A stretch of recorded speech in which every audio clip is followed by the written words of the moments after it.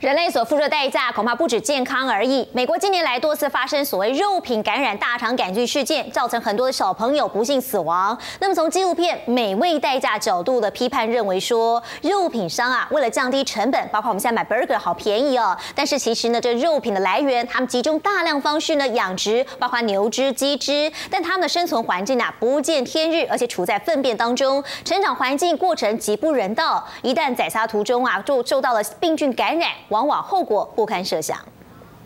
Fast food nightmare may be getting worse. A two-year-old child died today in Seattle, and the killer tainted meat from Jack in the Box hamburgers. A nationwide recall today for more than 140 tons of ground beef. 从二十到二十一世纪，美国发生多起牛角肉因感染大肠杆菌的夺命事件。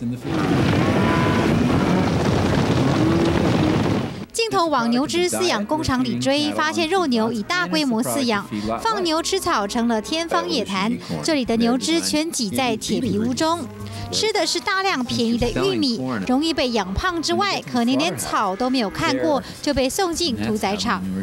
There's some research that indicates that the high corn diet results in E. coli that are, are acid resistant, and these would be the more harmful E. coli.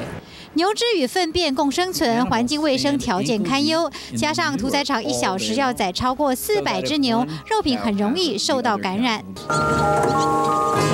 鸡肉也危机四伏，小鸡像在生产线上制造出来的一样，蒙怪饲料还被改造，超大鸡排肉因此诞生。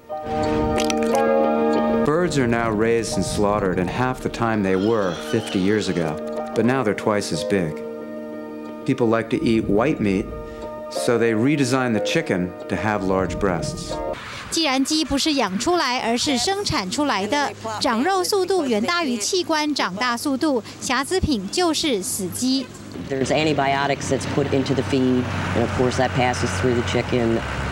The bacteria builds up a resistance, so antibiotics aren't working anymore. 肉商更雇佣非法劳工摸黑抓鸡，并且一旦没被发现，就同样被送进屠宰场。肉商以及卫生单位是否层层把关，成了美味兼顾健康的致命关键。东森新闻综合报道。